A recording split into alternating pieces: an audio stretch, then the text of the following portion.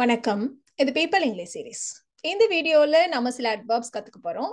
அந்த அட்வாப்ஸோடைய objective form என்னன்றதையும் நம்ம சேர்த்து கத்துக்க போறோம். ஸோ இந்த மாதிரி கத்துக்கிறப்போ நம்ம வந்து நிறைய ஒகேபுலரி நிறைய வார்த்தைகளை நம்ம ஞாபகம் வச்சுக்க முடியும். ரெண்டாவது அட்வர்பா இருந்தா அதை எப்படி யூஸ் பண்ணணும்? அப்ஜெக்டிவ்னா அதை எந்த இடத்துல பிளேஸ் பண்ணணும்? இந்த விஷயங்களை தெரிஞ்சுக்கிறதுக்கும் உங்களுக்கு இது யூஸ்ஃபுல்லா இருக்கும்னு நினைக்கிறேன்.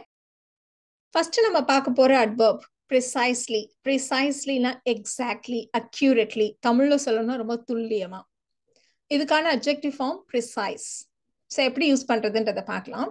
பொதுவாக அட்வாப்ன்றப்போ நிறைய டைப்ஸ் ஆஃப் அட்வர்ப் இருக்கு. நம்ம இப்போ பார்க்க போறது அட்வர்ப் ஆஃப் மேனர் ஒரு விஷயத்த நம்ம எப்படி பண்றோம்? ரொம்ப ஃபாஸ்டா பண்ணேன் துல்லியமா பண்ணேன் இந்த மாதிரி எல்லாம் சொல்றதுக்கு. ஸோ ஒருத்தர் இருக்காரு அவரோட ஒர்க்கை அவர் ரொம்ப மெதுவா ஸ்லோவா தான் பண்ணுவாரு. ஆனால் ரொம்ப துல்லியமா கரெக்டா அக்யூரேட்டா பண்ணுவார் அப்படின்னு நம்ம சொல்ல போறோம். He work slowly but precisely he work slowly but precisely இல்லைன்னா ஹி ஒர்க்ஸ் ப்ரிசைஸ்லி இந்த மாதிரி நம்ம சொல்லலாம். என்ன நடந்துச்சுங்கிறத என்னால கரெக்டா ஞாபகத்துக்கு கொண்டு வர முடியல என்னால ஞாபகப்படுத்திக்க முடியல என்னால ரிமெம்பர் பண்ண முடியல இப்படி நம்ம சொல்ல போறோம். ஸோ கரெக்டா துல்லியமா எனக்கு ஞாபகத்துல இல்லை. இப்படி நம்ம சொல்லலாம். I can remember precisely what happened I can remember precisely what happen இப்போ நம்ம டைம்க்கு கூட சொல்லலாம். இந்த மீட்டிங் கரெக்டா எப்போ தொடங்குது அப்படின்னா மூணு மணிக்கு கரெக்டா தொடங்குது அப்படின்னு நம்ம சொல்ல போறோம். The meeting starts at 3 p.m. precisely. The meeting starts precisely at 3 p.m. எப்படி வேணா நம்ம சொல்லலாம். இப்போ நம்ம இதோட அப்ஜெக்டிவ் ஃபார்ம் இங்க பாத்தீங்களானா நம்ம அண்டர்லைன் பண்ணி சொல்லியிருக்கோம். இங்கே எப்படி இருக்கு பாருங்க. துல்லியமான அளவீடு. அளவீடுங்கிற நவுனுக்கு முன்னாடி ஒரு பேர்ச்சொலுக்கு முன்னாடி துல்லியமான அப்படின்னு ஒரு வார்த்தை இருக்கு இல்லையா? ஸோ இதே மாதிரி தான் இங்கிலீஷ்லயும் நம்ம யூஸ் பண்ண போறோம். ஸோ அப்ஜெக்டிவை பொறுத்த வரைக்கும் ரெண்டு விதமா யூஸ் பண்ணலாம். ஒன்னு பி பக்கத்துல நம்ம யூஸ் பண்ணுவோம். இல்லைன்னா நவுனுக்கு முன்னாடி இந்த மாதிரி யூஸ் பண்ணுவோம். இப்ப துல்லியமான அளவீடு அப்படின்னா ப்ரிசைஸ் மெஷர்மெண்ட் ஸோ துல்லியமா அளவு எடுத்துட்டு துணியை வெட்டுங்க அப்படின்னு நம்ம சொல்ல போறோம். Take a precise measurement and cut the cloth take a precise measurement and cut the cloth அதே மாதிரி யார்கிட்டயாவது கேட்குறப்ப கொஞ்சம் கரெக்டாக எக்ஸாக்டாக அக்யூரேட்டான டீட்டெயில்ஸ் கொஞ்சம் கொடுக்குறீங்களா? Can you give me the precise details can you give me the precise details அடுத்து நம்ம பார்க்க போகிற adverb painstakingly painstakingly அப்படின்னா ஒரு விஷயத்தை ரொம்ப மெனக்கெட்டு சிரமப்பட்டு ரொம்ப சிரத்தை எடுத்து பண்றது. ஸோ இதோடைய objective form painstaking sir நான் ரொம்ப சிரமப்பட்டு மெனக்கெட்டு இதை பண்ணேன் அப்படின்னு நம்ம சொல்ல போறோம். I made this painstakingly I made this painstakingly அதே மாதிரி அவளுக்கு ஒரு அடுத்து ஒரு ஏதோ ஒரு எக்ஸாமோ இல்லைன்னா ஒரு ஒரு மேட்சோ ஏதோ ஒன்று வரப்போகுது. அதுக்காக அவள் ரொம்ப சிரத்தை எடுத்து பயிற்சி பண்ணிட்டு இருக்கா. She is practising painstakingly she is practising painstakingly இன்னைக்கு கேஸ் கூட தீர்ந்து போச்சு. ஸோ லஞ்சை வந்து நான் நல்லா விறகு வச்சு ரொம்ப கஷ்டப்பட்டு சிரமப்பட்டு மெனக்கெட்டு சமைச்சேன். ஆனால் நீ அதை டேஸ்ட் கூட பார்க்கல அப்படின்னு நம்ம சொல்ல போகிறோம் I cook the lunch painstakingly with firewood but you didn't even taste it இப்போ பெயின்ஸ் டேக்கிங் அப்படின்ற அப்ஜெக்டிவ் எப்படி யூஸ் பண்றது அப்படின்னு பார்க்கலாம். இங்க போட்டிருக்கதே பாருங்க கடினமான வேலை ரொம்ப மெனக்கெட்டு செய்ய வேண்டிய வேலை ரொம்ப சிரத்தை எடுத்து செய்யக்கூடிய வேலை அப்படின்னு சொல்றதுக்கு தான் நாம it is a painstaking job இல்லைன்னா it is a painstaking task இந்த மாதிரி நம்ம சொல்லுவோம். அடுத்து நம்ம பார்க்க போற அட்வர்ப் ரிமார்க்கபிளி ரிமார்க்கபிளி அப்படின்னா பார்த்தா நமக்கு ரொம்ப ஆச்சரியமா இருக்கும். இப்படியா? அப்படின்ற மாதிரி. ஸோ ரொம்ப குறிப்பிடத்தக்க வகையில் ஆச்சரியப்படத்தக்க வகையில இருக்கு அப்படின்னு சொல்றதுக்கு நம்ம இந்த வார்த்தையை யூஸ் பண்ணுவோம். ஸோ இதோட அப்ஜெக்டிவ் ஃபார்ம் ரிமார்க்கபிள் இப்போ ஒருத்தவங்களோட பேப்பர் வச்சுட்டு நீங்க சொல்றீங்க. அவளை கூப்பிட்டு சொல்றீங்க. நீ வந்து இந்த எக்ஸாம்ல ரொம்ப ஆச்சரியப்படத்தக்க வகையில ரொம்ப சிறப்பா பண்ணியிருக்க அப்படின்னு நம்ம சொல்ல போறோம். So you did remarkably well in the exam you did remarkably well in the exam அதே மாதிரி குழந்தைங்கள கொஞ்ச நாள் கழிச்சு யாரோ ரெண்டு குழந்தைங்கள பாக்குறீங்க என்ன ஆச்சரியமா இருக்கு? இவ்வளோ வளர்ந்துட்டாங்க அப்படின்னு நம்ம சொல்லுவோம் இல்லையா? The kids have grown remarkably the kids have grown remarkably இப்போ அப்ஜெக்டிவ் ஃபார்ம் ரிமார்க்கபிள் ஆச்சரியப்படத்தக்க திறமை. திறமைக்கு முன்னாடி ஆச்சரியப்படத்தக்க அப்படின்னு நம்ம போட்டிருக்கோம் பாருங்க. ஸோ இதே மாதிரி தான் நாம டேலண்ட்டுக்கு முன்னாடி ரிமார்க்கபிள்னு போட போறோம். So he has a remarkable talent ரொம்ப ஆச்சரியப்படத்தக்க திறமை அவன்கிட்ட இருக்கு. He has a remarkable talent அதே மாதிரி ஒருத்தவங்களுக்கு நல்ல ஒரு மெமரி இருக்கு அப்படின்னா he has a remarkable memory he has a remarkable memory அதெல்லாம் கூட ஞாபகம் வச்சு சொல்றான். இந்த மாதிரி சொல்லுவோம் இல்லையா? அடுத்து நம்ம பார்க்க போற அட்வர்ப் ப்ராம்ப்ட்லி ப்ராம்ப்ட்லி அப்படின்னா ரொம்ப உடனடியா எந்த டிலேவும் இல்லாம காலதாமதம் இல்லாம ஒரு விஷயத்த செய்யறது இதோட அப்ஜெக்டிவ் ஃபார்ம் ப்ராம்ப்ட் இப்போ உடனே எந்த டிலேயும் இல்லாம உடனே ரிப்ளை பண்ணா. She replied promptly she replied promptly இப்போ அதே மாதிரி நாங்கள் கொஞ்சம் பொருள்லாம் ஆர்டர் பண்ணியிருந்தோம். எந்த டிலே இல்லாமல் உடனடியாக எங்களுக்கு கிடைச்சிருச்சு ரிசீவ் ஆயிடுச்சு அப்படின்னு நம்ம சொல்ல போகிறோம் we received the items promptly we received the items promptly இந்த வார்த்தையை பாருங்க. அப்ஜெக்டிவ் ஃபார்ம்ல நம்ம ப்ராம்ப்ட்னு யூஸ் பண்ண போறோம்.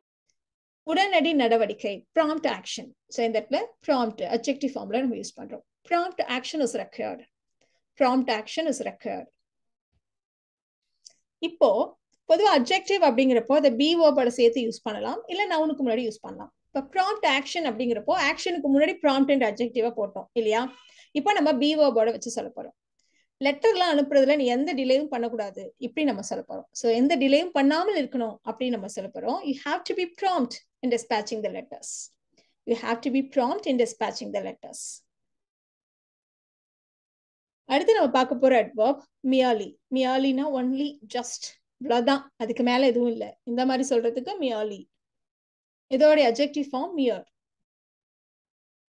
அவர் சும்மா ஒரு ஃப்ரெண்டு தான். அதுக்கு மேல எதுவும் இல்லை.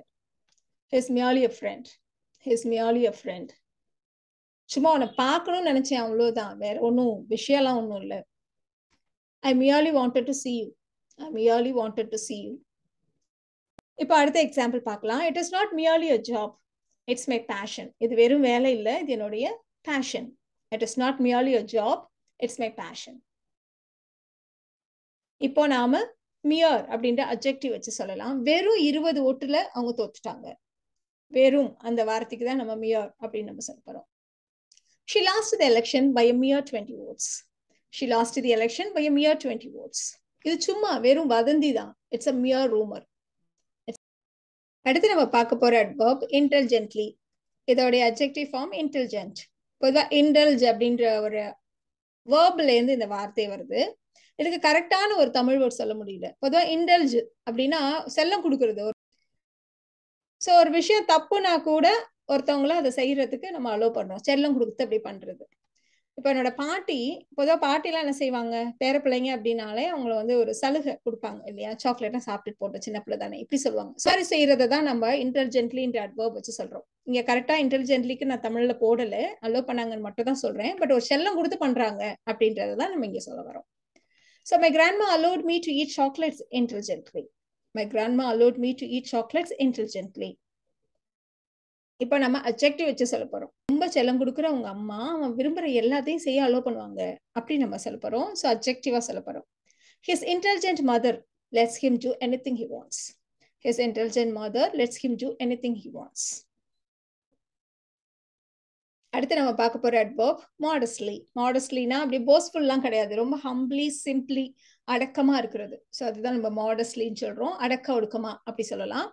இதோட அப்ஜெக்டிவ் ஃபார்ம் மாடஸ்ட் அவர் ரொம்ப அடக்க ஒடுக்கமா ட்ரெஸ் பண்ணியிருந்தா ஷி வாஸ் ட்ரெஸ்ட் மாடஸ்ட்லி இல்லைன்னா she was modestly dressed she was modestly dressed நாங்க சின்னவங்க எல்லாம் பெரியவங்களுக்கு பின்னாடி அடக்கொடுக்கமா உட்காந்துருந்தோம் பெரியவங்க எல்லாம் முன்னாடி உட்காந்துருந்தாங்க நாங்க சின்னவங்க எல்லாம் அடக்கொடுக்கமா பின்னாடி உட்காந்துருந்தோம் we youngsters sat modestly at the back we youngsters sat modestly at the back இப்போ நாம மாடஸ்ட்ன்ற அப்ஜெக்டிவ் வச்சு சொல்லலாம். அவர் ரொம்ப ஒரு அடக்கமான நடிகர். பீத்திக்கவே மாட்டாரு சீனை போட மாட்டாரு ரொம்ப அடக்கமான நடிகர். ஹீஸ் அ மாடஸ்ட் ஆக்டர் அவதான் டைட்டில் வின்னர் ஆனா கூட ரொம்ப அடக்கமா இருக்கா? Though she a title winner winner, she is modest. Though she is a title கடைசியா நம்ம பார்க்க போற அட்பாப் ஹேஸ்டிலி ஹேஸ்டிலி அப்படின்னா ரொம்ப அவசர அவசரமா பண்றது. ஹரீட்லி இந்த அர்த்தத்துல தான் நம்ம யூஸ் பண்ண போறோம். So that objective form hasty ரொம்ப அவசர அவசரமா ஒரு பையில சில துணிகளை எல்லாம் திணித்தான் அப்படின்னு நம்ம சொல்ல போறோம். He hastily stuffed a few clothes into a bag. He hastily stuffed a few clothes into a bag. உன் ப்ராஜெக்ட் ரொம்ப அவசர அவசரமா பண்ணாத. உனக்கு மார்க் கிடைக்காது அப்படின்னு நம்ம சொல்ல போறோம். ஸோ அவசர அவசரமா பண்ணாத. Don't do your project hastily you will not get marks don't do your project hastily you will not get marks இப்போ ஹேஸ்டின்ற அப்ஜெக்டிவ் வச்சு சொல்லலாம். அவசர முடிவு அவசர அவசரமா முடிவு எடுக்காத.